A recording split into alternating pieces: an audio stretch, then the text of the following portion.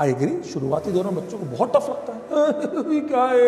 Enthalpy कहाँ से निकालनी आपको मेहनत किस रूप में करनी है आपको देखना होगा। Give your best any time give your best पर जैसे आप इन सवालों को करेंगे ना आपको बेंच के सवाल हलवा लगेंगे। अब सी एल पूछ लिया कोई सवाल है। मास्टर टफ पढ़ा रहा है शुरुआत में टफ लगेगा मेहनत करूँगा तो ईजी भी लगेगा और क्वेश्चन भी होंगे। लेवल भी मेरा खुद का आप होगा। साथ रहोगे ना तो क्या एडवांस जैसी चीज़ भी बहुत फालतू लगेगी। और ये मैं नहीं कह रहा हूँ। मैं इतने सारे रैंक्स देने के बाद ये बात प्रूफ करने के बाद ये बात कहता हूँ कि तुम्हें भरोसा करना ना करो। तुम्हारी इच्छा की मैं बार बार प्रूफ नहीं कर सकता। मैं इतना जानता हूँ कि ये बातें आज नहीं, मैं सालों से करवा रहा हूँ। पर हाँ आई एग्री शुरुआती दौर में बच्चों को बहुत टफ लगता है। क्या है? एनथेल्पी कहाँ से निकाल ले? ये एडवांस का सवाल था। तो आज नहीं, समय से करवा रहा हूँ। बस तुम्हें साथ आज देख लो, तुमने दो सवाल एडवांस के कर लिए। भयानक। अच्छा तुम खुद देखो। वो सोलह वाला सवाल ये 21 वाला सवाल कहीं ना कहीं अच्छा एक एक और 21 का सवाल था, वो वाला। नो आंसर जिसमें अपने तेरह आंसर जिसका था। आज अपने तीन सवाल एडवांस के किए बातों बातों में। समझ रहे मैं क्या क्या कहना चाह रहा हूँ?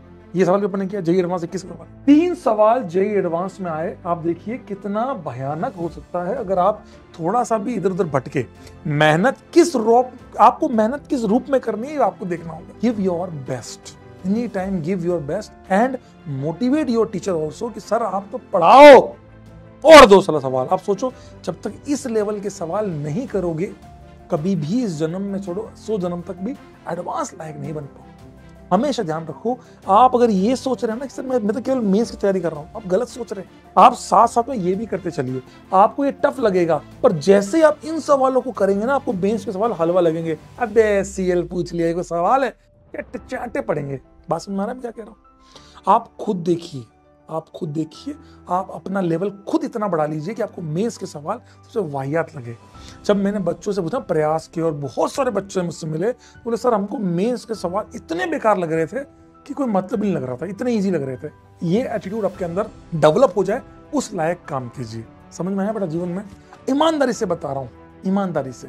ये मैं नहीं सिस्टम को उन सारे बच्चों ने कहा है, जो बच्चे रिज़ल्ट लेके आए कि सर, ये क्लास में ही अपन इतने लेवल के सवाल कर लेते हैं कि हमें मेंस और एडवांस के सवाल बहुत फालतू। आपने वो भी देखा होगा कि मेरे अपने ऑर्गेनिक के बच्चे फुल मार्क्स लाए ऑर्गेनिक केमिस्ट्री इंटरव्यू दिए उन्होंने, सर मेरे फुल आया था ऑर्गेनिक में। I got full out of full marks in organic chemistry in JEE advance भाई, मेहनत करो मेहनत करो। ये मत सोचो कि मास्टर टफ पढ़ा रहा है इजी पढ़ा रहा है। मास्टर टफ पढ़ा रहा है शुरुआत में टफ लगेगा, मेहनत करूँगा तो इजी भी लगेगा और क्वेश्चंस भी होंगे। लेवल भी मेरा खुद का आप होगा। समस्या क्या है ना, तुम आज तक एनसीआरटी टेंथ तक तुम जो पढ़ के आए हो, तुम उसको अपना बेस मानते हो यार उसमें तो इतना ईजी था। यहाँ तो हवा निकल रही है, यहाँ तो पंचर निकल गया पूरा पूरा और पंचर बनाने के लिए टेप भी नहीं है यहाँ तो। समझ बात को? ये